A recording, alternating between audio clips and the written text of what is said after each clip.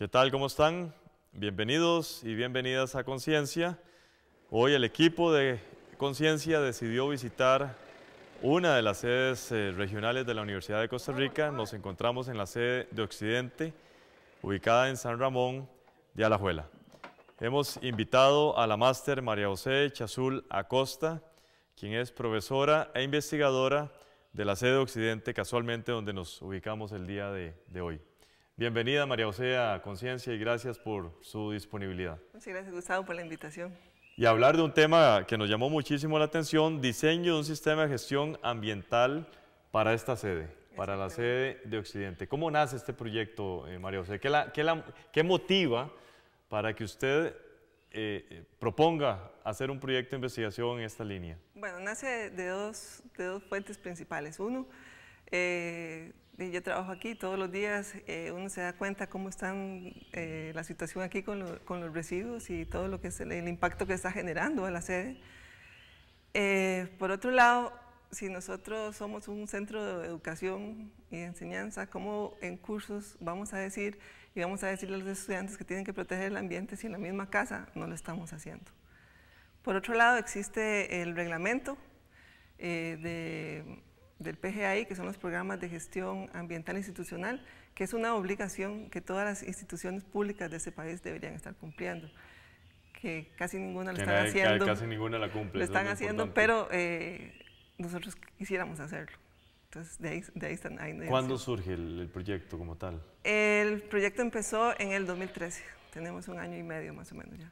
2013. Bueno, poco a poco, conforme avancemos en el, en el desarrollo del mismo vamos a conocer algunos resultados uh -huh. eh, de, al, al, al, respecto. Ustedes tuvieron que comenzar con un diagnóstico ambiental sí. en, en, en, la sede, en toda la sede. ¿Cómo, ¿Cómo, realizaron este diagnóstico y qué encontraron? Bueno, antes de eso tuvimos que iniciar con convencer a la, a la, a la alta dirección, digamos, de, de a la, la sede. administración. A la sede, al director de la sede, que en ese momento era otro director nos dio el apoyo, eh, cambiamos de, director, ahora también la directora está muy interesada y también nos dio el apoyo para seguir con el, proyecto. En cuanto al diagnóstico, lo que hacemos eh, fue delimitar el área que teníamos, porque la sede, bueno, sede de Occidente incluye Tacares, incluye San Ramón, y, y, San Ramón, además de esta sede que estamos aquí o de estas instalaciones, también abarca la reserva, abarca eh, el museo y el Silem. Entonces, eh, lo delimitamos solo a estas instalaciones. ¿El, el, cent el centro infantil. El, el centro infantil, claro. Entonces, eh, lo delimitamos solo aquí para irlos y después la idea es, en, con el tiempo es ir ampliando, claro. pero por ahora empezamos solo aquí. Entonces, en esta sede lo que hicimos fue eh, identificar los, las diferentes actividades que se pero, hacen. Perdone que le interrumpa, Marcelo, es un equipo de trabajo. Tal vez si nos explica quiénes, cuando ustedes hicimos, okay, estamos, okay. ¿quiénes? Eh, somos tres investigadores. Estoy yo, está eh, una del antiguo Progray, Jerling, que um, ahora es el UGA, y está Isa también, que es de, del Progray, o UGA. Además, eh, muy importante y un gran apoyo ha sido un estudiante de Ingeniería Industrial que está haciendo la tesis en, en, en, este tema. En este proyecto. Entonces ella ha desarrollado gran cantidad de cosas de lo que estamos haciendo, que es Perfecto. Pilar Castro. Perfecto. Entonces, en conjunto, digamos que hemos, eh, identificamos las actividades que se hacen en las, difer en las diferentes partes de la, de la sede. Eh, fuimos, por ejemplo, a la, a la casa infantil que está aquí, se identifican cuáles son las entradas, qué es lo que se hace y cuáles son las salidas. Por ejemplo, entradas, ¿qué entra a una casa infantil? Libros, eh, que utilizan computadoras, además muchos pañales, comida.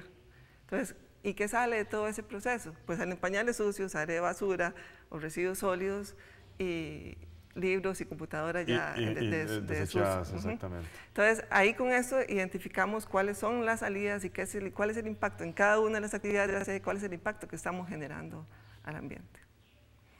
A esos impactos luego los, los, los evaluamos de acuerdo a una metodología identificamos cuáles son los, los principales o los significativos. ¿Ustedes en ese diagnóstico ambiental fueron a cada uno de los edificios o, cómo, o realizaron un muestreo aleatorio no, fuimos, para tener una dimensión real del problema? Cada uno fue evaluado. Fuimos actividad por actividad, odontología, los laboratorios de biología, los laboratorios de química, el taller de mecánica, eh, las aulas, eh, punto por punto. Toda esa información la tienen, la tienen debidamente recopilada. Sí, claro.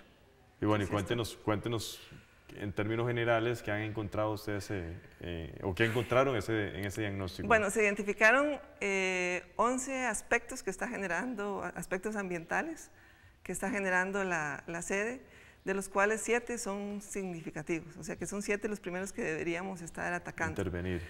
Ahora, por cuestiones eh, de recursos y técnicas también, eh, decidimos empezar por dos, que son eh, la parte de, de agua, de consumo de agua. Recurso hídrico. Y la parte del manejo de los desechos especiales o residuos especiales. ¿Qué, entendemos por residuos especiales? Residuo especial, involucramos todo lo que es el equipo electrónico, o sea, todo lo que son computadoras, eh, lo que son eh, microscopios, que sean electrónicos, balanzas, eh, hasta cosas de cocina como licuadoras, refrigeradoras, etcétera. Y desechos de computación como el toner, lo que llaman toner. Ah, bueno, perdón, sí, también me quedó por fuera. Eh, los cartuchos de toner. Cartuchos. Y muy importante, los fluorescentes, que en esta sede hay una gran cantidad que no se están manejando ninguno adecuadamente.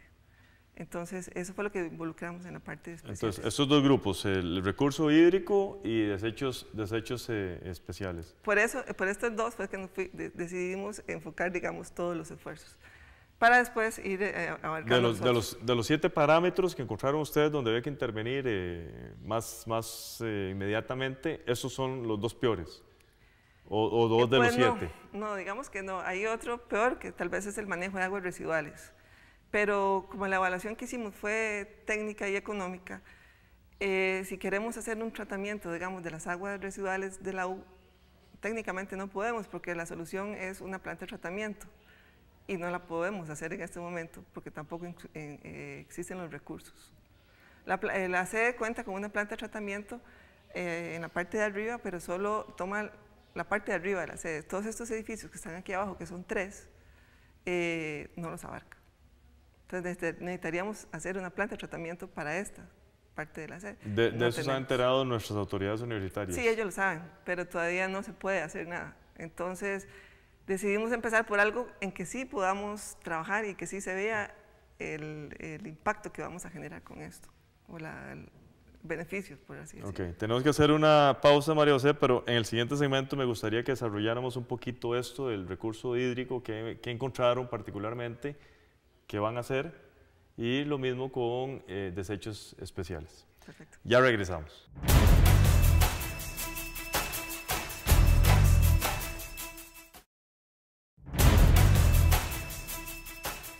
Gracias por continuar en Conciencia. Nos encontramos hoy en la sede de Occidente de la Universidad de Costa Rica, en San Ramón de Alajuela. Estamos conversando con la máster María José Chazul sobre un sistema de gestión ambiental que se está proponiendo en la sede de Occidente. María José, en el segmento anterior hablábamos de que ustedes priorizaron dos eh, áreas en las cuales tienen que intervenir, el recurso hídrico y desecho de materiales especiales que ustedes eh, llaman. Comencemos con el residuo, eh, con, los recursos eh, hídricos. ¿Qué, qué, encontraron? por, qué es importante la intervención? Ok, en la parte de aguas hicimos una evaluación de todos los, los servicios que hay en, en, en, la sede. Se encontraron más o menos 84 servicios sanitarios, de los cuales el 85% eh, son muy antiguos y en cada descarga eh, gastan 13 litros de agua, que eso ya no, no se debería dar en ningún lugar. Eh, los servicios más económicos están gastando 3 litros de agua y nosotros tenemos un 85% con 13 y el restante 15% con 6 litros de agua. Con 6. Con 6. ¿Y con, con, con 3 es suficiente? ¿Está garantizado que es suficiente la...? Es suficiente para, para, para una buena limpieza, digamos. Ajá. Además, eh, los orinales o mingitorios de los baños de hombres eh, tienen una cortina de agua constante. O sea, es, agua constante las 24 horas del día. En la noche lo cierran, pero bueno, del Ahora entiendo que hay un sistema en seco. Hay un sistema en seco. Eso está provocando que solo esta, este campus esté gastando de 2.000 a 3.000 metros cúbicos por mes. Transformado a dinero, esos son eh, de 2 a 3 millones de colones de agua por mes. O sea que a mí me suena una barbaridad. A, mí también. Eh, ayer me fijé, por cierto, cuánto es el recibo de agua para este mes y son 2.900.000 colones de agua solo este mes. Solo, solo donde estamos, aquí en la, sede Solo donde estamos. Yo me pregunto cuánto está gastarando la sede de. Lo digo fácil, imagínense ustedes. Entonces, eh, lo que hicimos fue buscar propuestas que disminuyeran este, este consumo. Encontramos esto de los, eh, de los interiores que gastan 3 litros, de los, de los mingitorios que no, que no necesitan agua. Y para los lavatorios y todo lo que son pilas de cocinas, hay un sistema que se le, se le, pone que infiltra aire, entonces usted siente la misma sensación de cantidad de agua que lo que a la gente le gusta es sentir esa presión del agua, pero está gastando menos, De la, mucho menos de la mitad. Con eso, con esas eh, tres cosas que queremos implementar, se estaría, eh, se estaría disminuyendo más o menos de un 60 a un 70% del consumo de agua. De un 60 a un 70 es significativo. Es significativo. Ahora, la inversión. Para esto, bueno, y además queríamos eh, implementar en los servicios un sistema de audio que se está usando ahora en muchos, eh, muchos lugares que le están recordando a uno la importancia de cerrar el tubo cuando se está lavando, de la importancia de, de conservar el agua. Digamos, todo este cambio más el sistema de audio cuesta 27 eh, millones de colones aproximadamente. Pero aún podría sonar mucho, ¿verdad? Y más para una sede que el recurso es, es limitado. Bueno, pero en términos de un año, ya se recupera esa inversión. En 10 meses lo recuperamos. En 10 meses, exactamente. Entonces, eh, eh, bueno, lo propusimos, eh, ya la administración está, lo conoce y ya se hicieron las, las gestiones necesarias para pedir el presupuesto. Ya se pidió, de hecho, el presupuesto para el otro año para esto, para empezar en enero del siguiente año con la... Entonces, si hay, voluntad política por parte de las autoridades Voluntad la hay. Vamos a ver ahora cuánto, nos, cuánto presupuesto de lo que solicitamos nos dan. Además, eh, también lo que queríamos hacer es instalar hidrómetros en cada unidad académica. En cada unidad, porque nosotros lo, que hay es un hidrómetro único a la entrada del campus. Entonces, no se sabe quién está gastando más eh, o, dónde hay un desperdicio. Entonces, vamos a poner, eh, son como 20 hidrómetros ubicados en diferentes lugares para identificar en qué puntos se está, se está gastando más agua y a quién hay que dirigirse. atacar en primera instancia. exactamente. Me llama mucho la, la, atención esto del audio. Eso debiera acompañado con ciertas otras campañas de concientización y demás. ¿Están pensando en, También, eso, María? O aparte de eso es hacer todo, estamos en eso, solo que no estamos en la parte de diseño, todavía no hemos decidido qué vamos a hacer ni cómo, porque son varias poblaciones las que tenemos que, que atacar. Una son los estudiantes, profesores, administrativos, conserjes. O sea, a todos tenemos que llegarles porque todos tienen una función vital.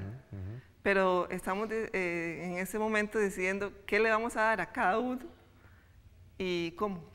Porque se puede utilizar, bueno, puede ser el periódico, puede ser eh, la página de la U, puede ser charlas, eh, muchas, muchas alternativas. Todavía no tienen la estrategia establecida. Todavía estamos, estamos en eso. Ni el, ni el mensaje.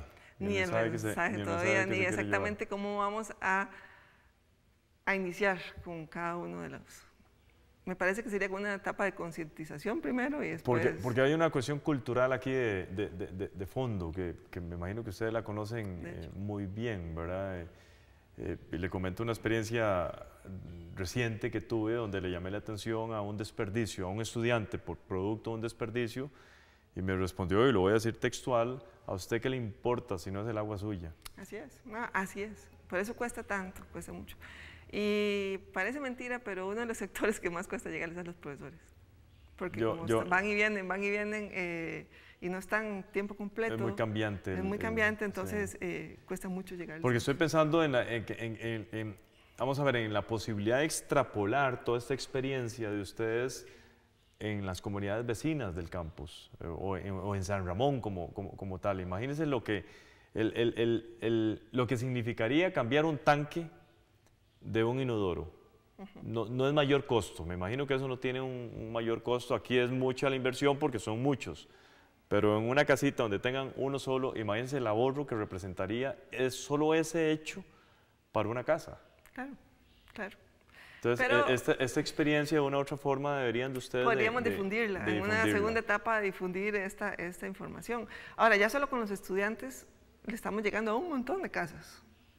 Porque los estudiantes mueven mucho a los papás correcto, también. Correcto, supuesto. Entonces, eh, si logramos que los estudiantes vean esto y logramos difundirlo de forma adecuada, eh, ellos también podrían ser una forma de... Sí, es un efecto multiplicador, digamos, de, la- de, las buenas, de las buenas prácticas de mitigación que se pueden tomar en, en el ahorro de- del, del- del recurso hídrico. No- Exactamente. nos queda pendiente el, el manejo de desechos eh, especiales, Especiales. el cual quiero que desarrollemos en el, en el siguiente eh, eh, segmento, que nos, que nos diga, bueno, cuál es la problemática que ustedes han encontrado como tal y soluciones a cada una de esas eh, problemáticas. Ok, perfecto. Tenemos, tenemos que hacer un- un- una pausa y ya regresamos.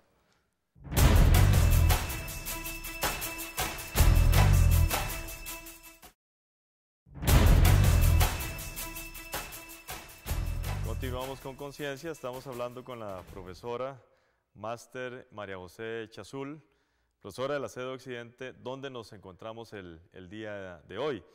María José, hablamos de esos desechos especiales. A mí me interesa mucho que nos enumere cuáles son esos desechos especiales que ustedes en ese diagnóstico ambiental encontraron en, en la sede de, de Occidente y luego que hablemos de eh, soluciones a cada uno de los problemas que usted nos va a enumerar. Ok, como le, como le conté antes, eh, son tres tipos de residuos, los electrónicos, eh, los toner, los cartuchos de toner y los eh, fluorescentes. En cuanto a los electrónicos, eh, digamos que ya la sede tiene un sistema de desecho de estos, de lo que ya no sirve, sobre todo computadoras y, demás, pero no se está haciendo de la forma más adecuada.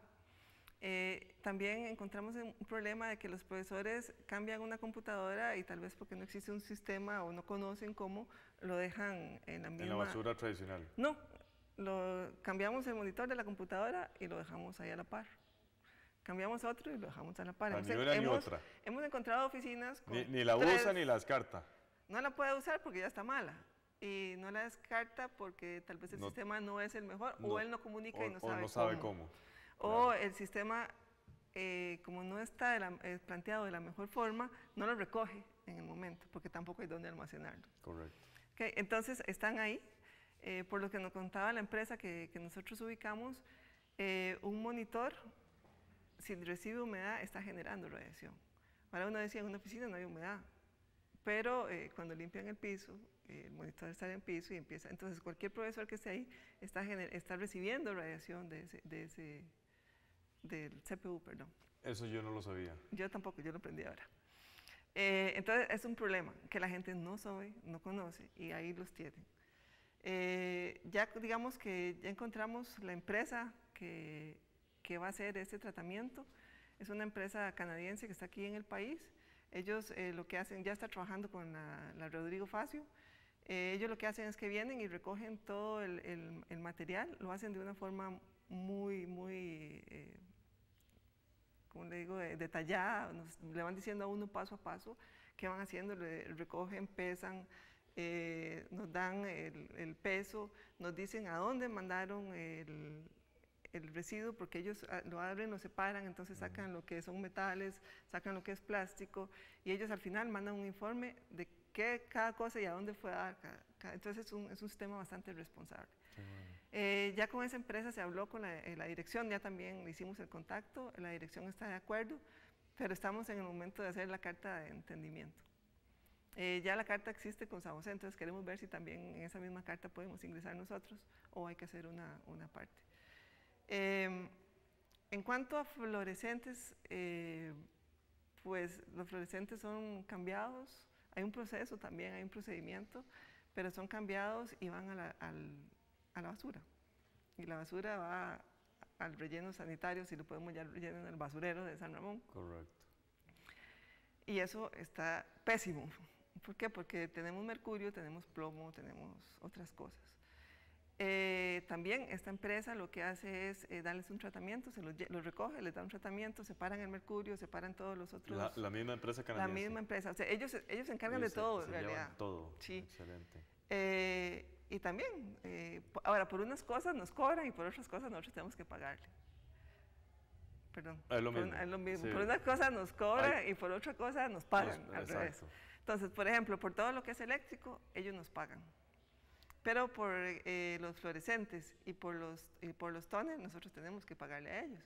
Pero al final yo creo que salimos se, se, compensa. empates. Porque aquí, aquí no, no, no, está en juego la parte económica, sino la, la, la, cuestión, la, cuestión, ambiental. Ahora, ellos también ofrecen, en caso de que sobre dinero, digamos que haya un balance positivo, entonces ellos eh, nos pueden dar capacitaciones, eh, nos pueden dar, por ejemplo, ahora en la sede, en la sede de Rodrigo Facio, ellos prestaron, una, ayer que era el Día del Ambiente, prestaron unas bicicletas. Entonces, eh, toda la gente se transportaba en bicicletas porque ellos las pusieron ahí. Entonces, hay un gana, gana y gana, yo creo, de, ambas partes. Vamos a ver, eh, a mí me interesaría saber qué hace esta compañía con estos residuos. ¿Usted tiene conocimiento, María? O digamos, ¿qué hace con, con, con los mercurios? ¿Qué hace con, los, con las computadoras viejas? Por ejemplo, las computadoras que yo sé, me falta más información, digamos, qué hace exactamente con cada cosa. Ellos tienen todo y uno se lo pide y le mandan el procedimiento y, que también en ese proceso estamos. Porque la semana pasada fue que hablamos eh, con la dirección y nos reunimos con ellos y nos dieron una charla. Por ejemplo, todo lo que es eh, el plástico de las computadoras, lo trasladan a Canadá y lo están produciendo en biodiesel. En biodiesel.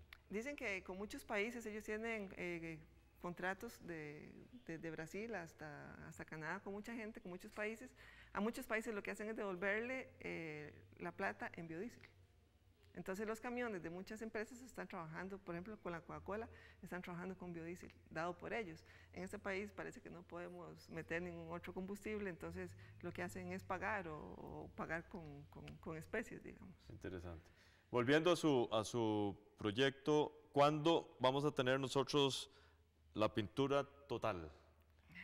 Bueno, es el, un proyecto... el, panorama general de la sede de Occidente. El panorama está. ya, ya, ya usted lo tiene. Digamos, la foto está. Tenemos los 11 aspectos ambientales que se están generando en la sede. ¿Cuáles son los siete que tenemos que atacar principalmente? El proyecto dura cinco años. ¿Estamos en cuál año? Estamos en el segundo. Segundo año pero usted puede ver que estamos apenas atacando a dos de siete. Eh, y estos dos apenas se van a iniciar a implementar en el 2015, que ya sería el tercer año del proyecto. ¿Cuál es el problema que yo veo aquí? Que esto no puede ser un proyecto de investigación, eso tiene que ser algo más, porque un proyecto de investigación en cinco años eh, nosotros nos retiramos y el proyecto murió.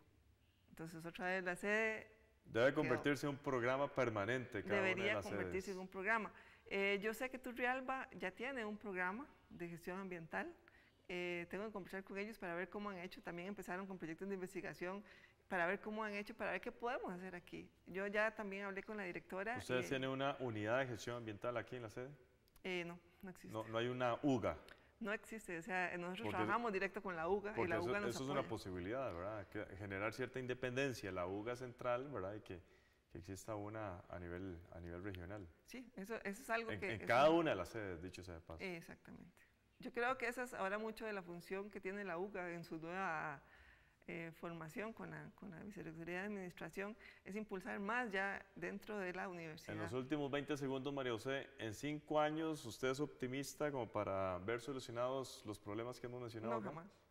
En cinco años podemos atacar el agua, eh, los residuos especiales que estamos eh, y quisiéramos entrar a la parte eléctrica, el consumo eléctrico para, para, reducir la... Para reducir el consumo, que eso es, el, que, el que yo creo que sigue. Es el siguiente paso. Creo que eso podríamos hacer en cinco años. Muchísimas gracias y suerte y ojalá que las autoridades eh, universitarias y administrativas se comprometan de lleno con estas soluciones. Eso, esperamos. Muchas gracias. Gracias a usted, María José. Gracias a todos y todas ustedes. Continúen con la programación de Canal UCR.